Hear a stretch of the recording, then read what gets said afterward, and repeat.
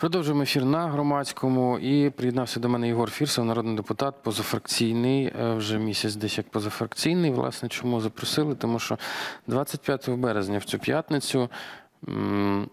Ну тут от формулювання має бути дуже обережним. Тому скажу, 25 березня нібито блок Петра Порошенка позбавив вас мандата.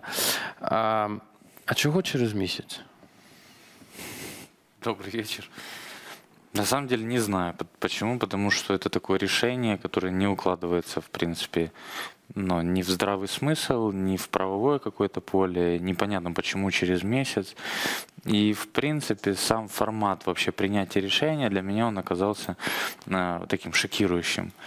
Э, Когда я выходил из э, фракции, некоторые, ну, назовем их так, коллеги, да, они меня предупреждали о том, что если я, мол, выйду из фракции, меня лишат мандата. Я, я в принципе, знал, на что шел, на что шел. И, если честно, я думал, что это будет там какое-то решение суда, подконтрольного суда, или решение Центральной избирательной комиссии, тоже подконтрольной, против которой я, кстати, выступал.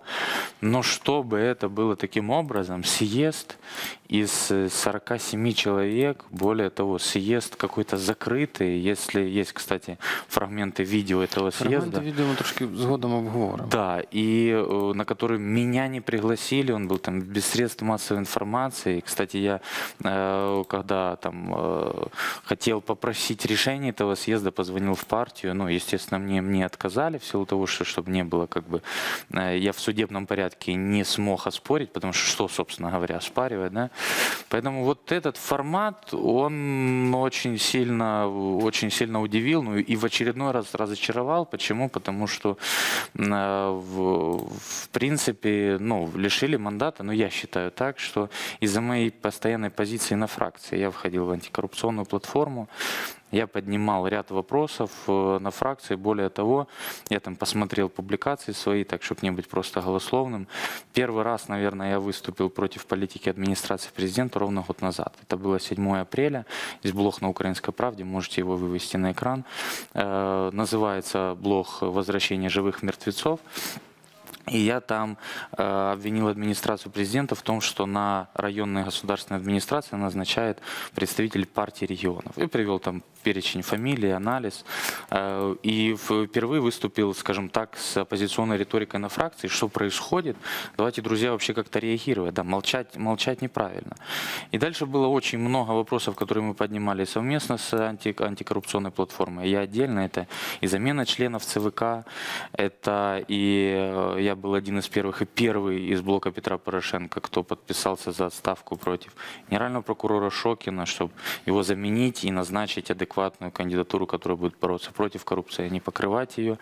Я, наверное, ну даже не наверное, а точно первый, кто подал в правоохранительные органы конкретные документы, факты и заявления в отношении Игоря Кононенко, его офшорных компаний, его преступлений. Вот относительно недавно я опубликовал протокол э, судебный, э, британский, где депутат Грановский признается в этом, в этом, на этом заседании, что он получил кэшем от своего партнера Адамовского 800 тысяч долларов и не задекларировал эти доходы. И опять же, как бы, ну, я, я озвучил это на фракции, я приходил это и на совет фракции, приносил документы, которые мне попали в руки и просил как-то фракцию разобраться. В результате не было ничего, как бы пытались э, закрыть глаза, там на совете фракции Луценко, например, послушал пять минут и вообще ушел там на какое-то другое заседание. Поэтому это всегда было, это всегда бурлило, и э, я обозначал позицию на фракции, но вот в истории, когда Игорь Кононенко, когда я тоже выступил и попросил коллег поддержать мое предложение, обратиться к Игорю Кононенко, чтобы он э, сложил мандат и ушел в этой истории с Абрамовичем, вы помните, проголосовало только там порядка 10 человек, и я подумал, что ну все, ну как бы, ну если ты на протяжении там года поднимаешь эти вопросы, и ни один вопрос не сдвинулся с места по разным причинам, ну, не имеет смысла находиться в этой фракции. И мой выход тогда, это была своего так- рода такая акция протеста, что вот позиция фракции неправильная. Я ухожу, еще раз подчеркну, я понимал, что будут лишать мандата, понимал, что против меня работ- будет работать вот такая вот жесткая юридическая административная система, администрация президента, подконтрольные суды, члены Центральной избирательной комиссии и так далее. Ну вот, вот как-то так это было. Ну тут дуже цікаво е, коментував рішення партії Юрій Луценко. Він якраз вийшов з після обговорення програми, програми е, Гройсмана на прем'єрство. Давайте послухаємо Юрія Луценка. Потім буду просити, щоб ви прокоментували давайте, коментар. давайте.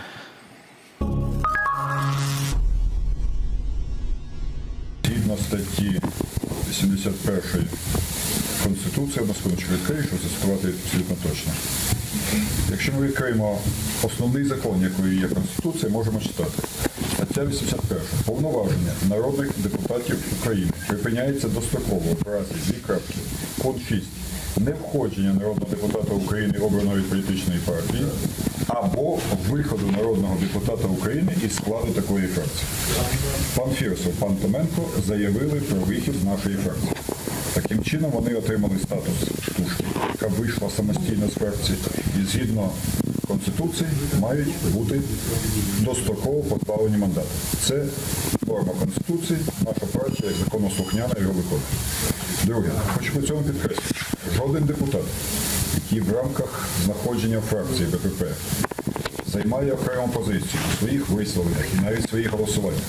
Ніколи нами не виключався і жодним чином не притискався. Ви знаєте про те, що в нашій фракції доволі е, широкий спектр думок, не завжди одностайних голосувань.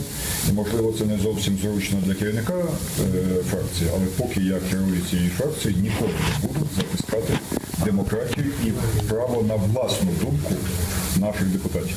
Але той, хто виходить із фракції, будучи обраним по спискам і розриває свої відносини із партією, за яку голосували люди, згідно чинної конституції, згідно основного закону, не може бути депутатом. Пан Фірсов, пан Томенко це усвідомлював. І йшли на це. Мені дуже шкода, бо з Миколою Томенко мене пов'язують багато років е, добрих товариських відносин. Але він свідомо йшов на це. Е, Фірсов депутат молодий, який, на жаль, не написав жодного закону, проте зробив багато гучних заяв.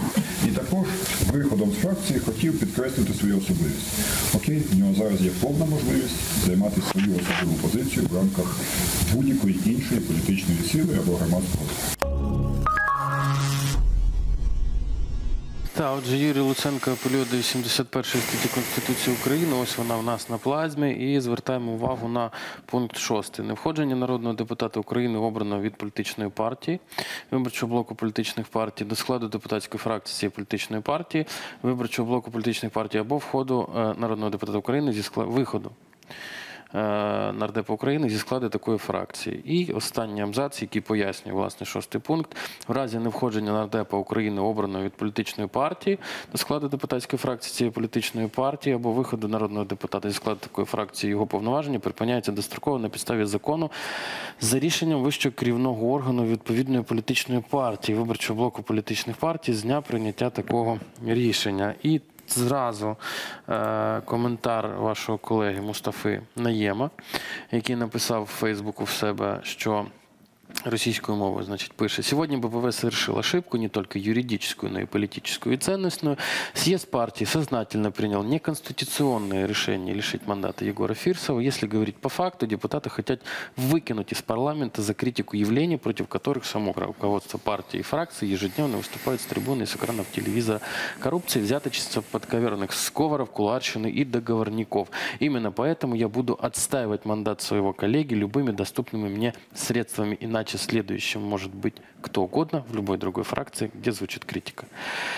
Ну і тут хочеться ваші, ваші коментарі почути. Е, ну, з одного боку, ми почули пана Луценка, який звертається до Конституції. В принципі, в чомусь він, можливо, і правий. Але е, якби не було нюансів, яких поясню. Фракція Блок Петра Порошенка, восьме скликання, сайт Верховної Ради України, динаміка переходів депутатів, виходів вірніше з фракції. І тут ну, ваш випадок не перший. Їх там з 15 точно не береться. Е, За виключенням окей, там Насірова або там ще Да, ряду да. депутатів, які склали свої мандати для того, щоб е, посісти е, крісла чиновницькі, та як, наприклад, у випадку з Насіровим він став головою фіскальної служби. Але, наприклад, є пан Олег Мусій, який вийшов з фракції, далі собі чудово працює. Є пан Чумак, який вийшов з фракції, далі собі чудово працює. А вас чомусь вирішили виключити. Аб- абсолютно верно. Если позволите, я прокомментирую. Начну с Юрия Луценко. Ну, начну на самом деле с того, что, знаете, в период Майдана, соприкасаясь там с Юрием Витальевичем, я его очень сильно уважал и за, за его стержень, за его мужество. И мне жалко, что сейчас он э, уходит в ложь, уходит в, в лицемерие.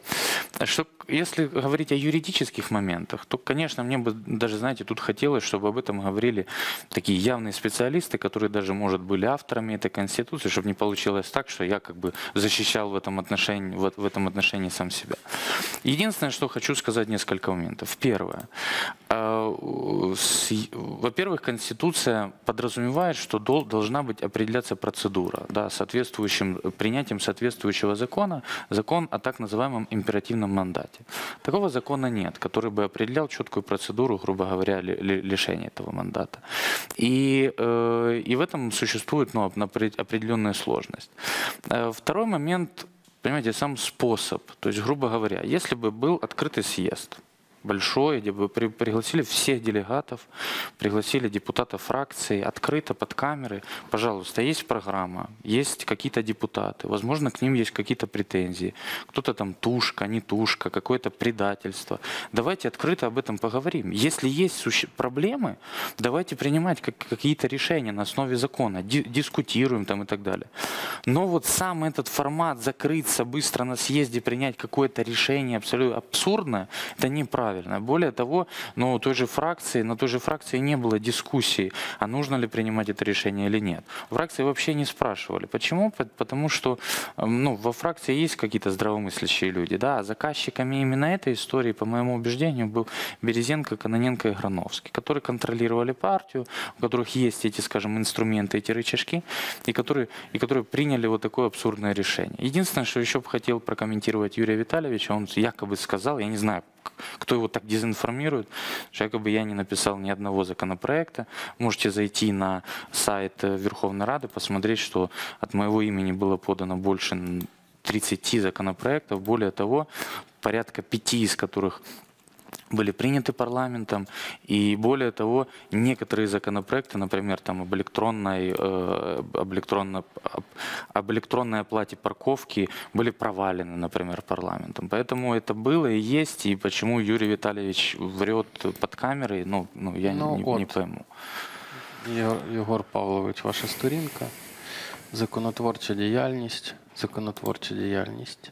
І, власне, Да, вот этими за галочками списком. помечено принятые законо- законодательные инициативы, ну, принятые бачите, парламентом. Юрій Віталійович не до кінця, мабуть, інформований. Але це вже таке. Насправді воно це важливий нюанс, але не настільки, щоб на ньому довго Да, це загострювати деталі. увагу. Деталь, ну, осадочок остався, як кажуть. Е, журналіст 1 плюс 1, цікавий пост розмістив у себе в Фейсбуку. Для принятия решений на съезде ППП вполне достаточно счетовода с заготовленными листочками результатов голосования. На первом видео четко видно, что за лишение мандата Фирсова подняло руки около 9 человек, хотя счетовод объявил 47. На втором видео четко видно, откуда он эти голоса берет. Е, Я не знаю, чи ви дивилися це відео, чи ні. Я, я смотрел это Бачили, видео, та? І, конечно. ну, може, вас навіть зразу тоді і тегнули. Давайте це подивимося, як це відбувалося. Ці голосування, а потім ми їх обговоримо.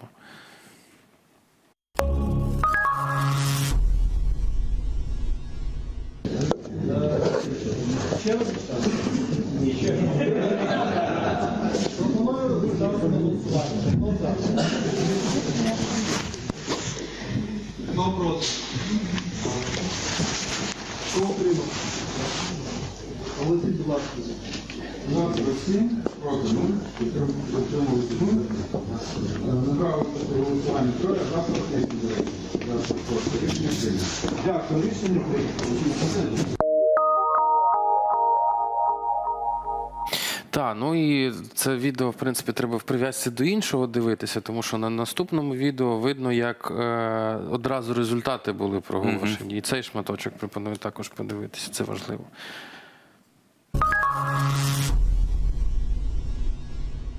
Ставлю на голосування питання щодо продовження роботи слідства. Хто за? Хто проти? Хто утримався? Голосують результати. За 47, проти 0, утрималось 0, на право участі в голосуванні 4, рішення. Дякую, рішення прийнято. Зустрінемося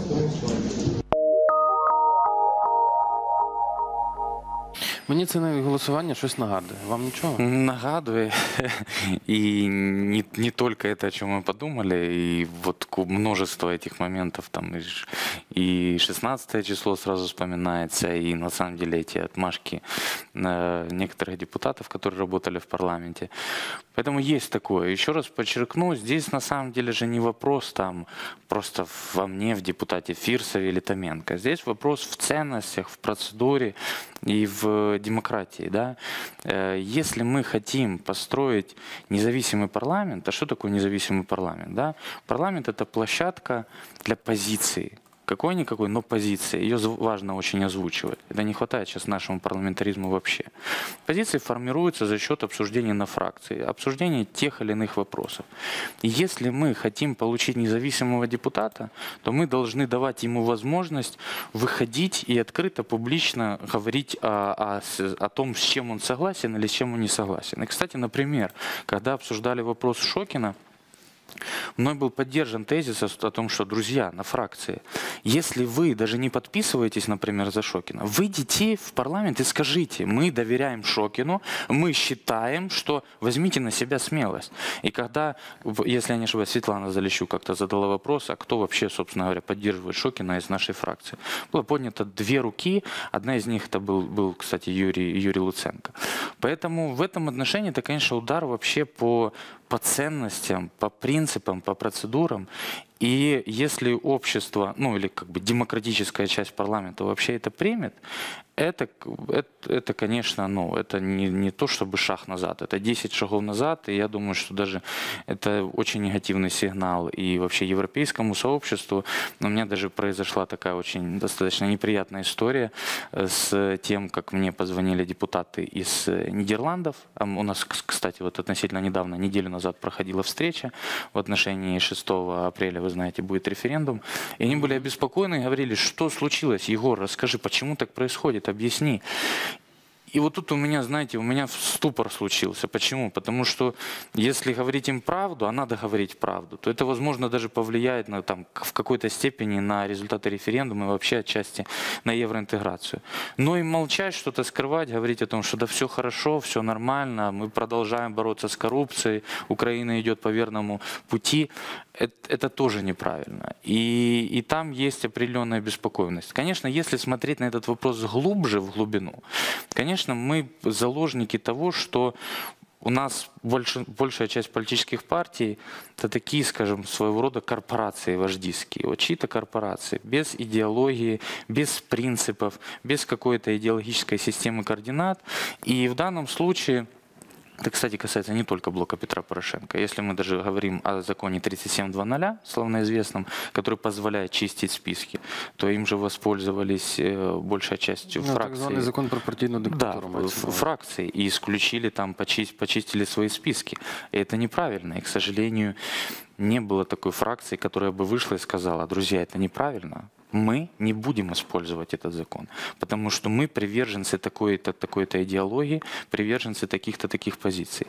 И пока, к сожалению, у нас ну, не будут появляться партии, которые будут представлять действительно интересы людей, пусть это будут социал-демократы, либералы и так далее, у нас все время будут вот, вот, вот, вот такие проблемы, когда появляется проект, появляется корпорация, появляется партия такого одного, грубо говоря, человека в этот, и, э, и, и, и там происходят вот такие вот подобные внутренние моменты. Конечно, это плохо, это ужасно, еще раз подчеркну, такое возможно было только тогда, когда вот такие люди, как Каноненко, Березенко и остальные могут контролировать эту систему, вот этот с- съезд, а, который, который только что показывали на экранах. Скажіть, будь ласка, як ви гадаєте, а Юрій Луценко є поціновувачем творчості Рембрандта? Не знаю. Я не чому, знаю. е, чому питаю? Просто в дописі Юрія е, йдеться про ваше з повернення в, Е, Фракцію, ну це мені нагадало картину Рембранта повернення блудного сина. Чого про Рембранта запитав? Отже, щодо позбавлення мандатів Томенка Фірсова, розумію, що це багатьом не подобається, мені теж, але е, варто при цьому розуміти. Фракції БПП, всі, в тому числі Фоменко, з- е, Томенко з Фірсовим, мають свободу слова і навіть голосувань. Ну, це після того, що ми бачили тільки що на відео, сумнівно, звісно. Ем, Їм цього виявилося мало, і вони обрали за списком партії, вийшли зі складу фракції. Обрані за списком партії, вийшли зі списку франції, фра, фракції. Конституція прямо вказує, що в цьому випадку депутатські повноваження достроково припиняються. Це ми вже чули. Натяки, що немає закону, за яким має відбуватися це дострокове припинення, недоречні. Ну це вже посил, мабуть, до Наєма. Конституційний суд давно встановив, що Конституція закон прямої дії, інакше не діє конституційна норма про персональне голосування, про право на мирні зібрання і багато інших норм Конституції, під які нема законів. І п'яте, ну, що, як то кажуть, моє любіме. Єдиний шлях уникнути процедури позбавлення мандату заява про повернення у фракцію. В іншому випадку місце тушок займуть Бригінець і Білоцерковець. Перший прийде в зал ВР прямо з фронту, інший керівник столичної організації Удару. От п'ятий пункт це знаєте, як ем, це мені нагадує насилля в сім'ї. Е, Якщо коли жінка зібрала вже валізу і збирається йти від чоловіка, який її не влаштовує, а він е, закриває перед нею двері і каже: Так, давай ти от повернешся, і ми будемо жити далі мирно і злагоді. Ну, знаєте, все-таки прокомментирую. Первая позиция. Есть еще интересный пост Ирины Геращенко, которая предложила рассмотреть, скажем так, этот вопрос на фракции, пригласить на Стаменко для такого диалога. И, знаете, я бы, я бы пошел на, на этот диалог. Мне интересно послушать коллег, интересно посмотреть им в глаза, ну и, возможно, интересно уже в двухтысячный раз высказать свою позицию о, о тех вещах, которые проходят, проходят в стране. Что касается в- возвращения во фракцию блока Петра Порошенко, эм, в принципе, если фракция э, скажем так, выгонит и э, лишит мандатов э, Каноненко и Грановского, ну, добровольно, то есть они, как Мартыненко, напишут заявление э, о выходе из фракции, выходе из парламента вообще. Э, если фракция примет решение по генеральному прокурору и по всем, скажем так, возложенным на нее Конституцией обязанностям в отношении членов ЦВК, например, то я готов рассмотреть вхождение обратно во фракцию БПП. То есть цели против, за которые я боролся во фракции, они, по сути, будут достигнуты. И это будет, ну, определенный, скажем так, результат. Забегая наперед, я сомневаюсь, что фракция такое сделает, откровенно говорю. Но если фракция теоретически готова на такой диалог, я готов на него пойти. Ну, власне, ви згадували е, допис Ірини Геращенко, ось він на плазмі, і варто виділити от останній там півабзацу. Думаю, нам потрібно запросити Миколу Єгора на фракцію, чесно поговорити і не плодити внутрішніх ворогів, бо ж поки не подолано зовнішніх, і навпаки, такими діями ми посилюємо можливість реваншу. Я не підтримую позбавлення мандатів Томенка Фірсова, не голосуватиму за це в Верховній Раді. Це не вихід, хоч їх е, певні кроки не поділяю, але розправами це не вирішити. Навпаки, це шлях розколу фракції, пошуку нових ворогів та опонентів. І в цьому контексті дуже цікавий був допис у Віталія Чепіногі. Який от він абсолютно не є, скажімо так, учасником цієї м, п'єси, але пише ось що. Я не заздрю Юрію Луценкові без іронії сарказму, чесно, не заздрю. Я думаю, що багато, багато хто з глядачів е, там наперед забігаючи, вважав, що я зараз виведу пост Чепіноги про його вихід з фракції. Ні, це так не є. Там є набагато цікавіше. А, значить, про що цей пост? Пост цей про ну Чепінога в своїй в своєму стилі, значить, розписує, що він абсолютно не заздрить Луценкові, що треба, значить, Луценкові е, за складом душі вірити в те, що він е, говорить і пише. Е, і, і ходить в цей ад щоденно з другого зата на банкову, а потім приходить, інтерпретує. Каже, так виходить, що з завтрашнього дня зелений це фіолетовий, жовтий сірий, бурго взагалі не существує, мені неудобно, але так надо. Але найцінніше останні кілька абзаців. Коли голосували сумнівний закон про спецконфіскацію, Юра всім казав, та проголосуєте, все одно ж проголосуєте. Тільки наїстеся фекалій спочатку, так і сталося, і наїлися, і проголосували. І тут воно трошки йде в дисонансі з тим, що пише Ірина Геращенко, яка каже, що не можна плодити ворогів всередині. Тут Чепіного ще трошки раніше. Я перепрошую, що так стрибую по цьому посту, бо тут так багато інсайду вилилося з БПП, що це просто е, коли він пише, що е, де, деякі люди ненавидять один одного всіми жабрами своєї душі. Так а про, про що пише тоді Ірина Геращенко? Про яких внутрішніх ворогів, якщо вони вже там існують, вірять Чепін, якщо ми віримо Чепіної? Ну, мы знаем, що Ира Геращенко плотно там работает із администрации президента, і ее заявление это скорее ну, сохранить такое какое-то красивое положительное лицо в, в этом отношении. Ну, абсолютно, Виталий абсолютно прав в том, что э, Юрий Луценко бегает в администрацию президента. Да? Э, он, не устраивает в, он не устраивает фракцию как площадку для дискуссии, как э, тот инструмент, где на фракции должны вырабатываться решения и в первую очередь говорится. А у нас получается так, что в администрации президента вырабатываются решения, Юрий Витальевич Луценко как проводник этих решений приходит и, и, и озвучивает, спускает их уже на фракцию. Поэтому большей, ну я не знаю, тут большей и меньшей части фракции, естественно, тут сложно сказать, но определенной частью фракции это, естественно, не устраивает, потому что, ну, более-менее адекватные люди, у которых есть позиции. И поэтому происходит вот такая вот грызня. То есть нет системы координат, и непонятно, куда фракция идет вообще, на каких позициях она стоит, на какой идеологии она стоит. Поэтому в этом есть вопрос, и тут уже точка невозврата, она уже пройдена. То есть уже настолько, на- настолько вот этот ад, в агония это прошла, что каким-то образом собрать или помирить фракцию и сказать, что вот мы едины, это не, не, не получится. Депутаты и коллектив может быть едины только в отношении чего-то, только в отношении каких-то позиций, каких-то идей. Поскольку идеи и позиции не вырабатываются, получается вакуум и получается такое вот, кто в лес, кто по дрова. Так, ну і завершуючи нашу розмову, не можу не процитувати Миколу Томенко. Е, На жаль, це вперше згадуємо про нього в цій розмові. Сподіваюся, що пан Микола якось знайде час до нас е, заскочити, поспілкуватися, бо ми до нього під'їдемо. Отже, що пише Томенко? Популярно кажучи, я точно не обіцяв виборцям розбудовувати мережу фірмових магазинів Рошен від Києва до великих карпатських сіл і водночас закривати школи, лікарні, ПТУ чи дитячо-санаторні спортивні заклади. Більше того, як відповідальний політик, який не пропустив жодного засідання, не голосував за законопроекти, яких не бачив і не читав, бо так прописав президент. Я виступав проти авантюрних і антиукраїнських змін до конституції, антилюдського бюджету. І всі ці мої дії відповідають нашим передвиборчим обіцянкам. Тут, щоправда, є одна делікатна річ. Багато нинішніх керманичів партії, особливо з команди Черновецького, з виборцями не зустрічалися. Вони округами і місяцями в списку торгували. Місцями в списку торгували. Отож, рішення з'їзду важливе з погляду на питання відповідальності. Я готовий до спеціальної доповіді на засіданні парламенту щодо цього питання і чекаю на ухвалення закону про імперативний мандат, про який говорить стаття 81 Конституції. Останнє запитання заключне, і буду просити е, завершувати нашу розмову лаконічно. Істоменко спілкувалися з цього приводу? Чи є вже якісь там спільні напрацювання? Ну, Як конечно, є? я, я общался с Николаем, скажем так, сверял часы, да, что, что, в этой, что в этой ситуации делать. А делать надо как-то двигаться совместно, чтобы не было разных, разных каких-то позиций.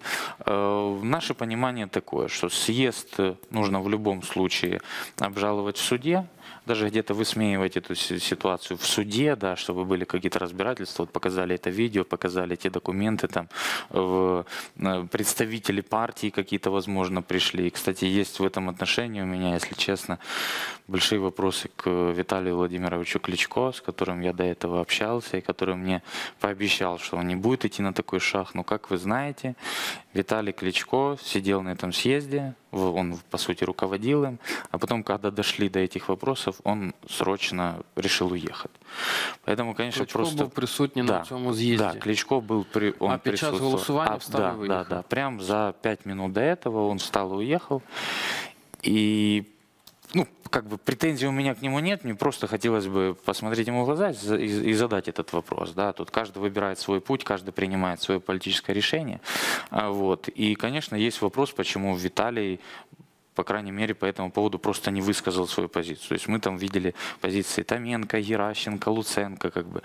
Почему Виталий там не отписался, не сказал ничего в СМИ? Вот это вопрос. Вот это вопрос. Так, ну від- чим більше говоримо і знаходимо інформацію, тим більше виникає питань. Будемо разом шукати відповіді. Дуже дякую за е, час, час, який ми спільно провели. Ігор Фірсов, народний депутат, вже позафракційний. З ними поговорили, і за цією темою будемо слідкувати далі.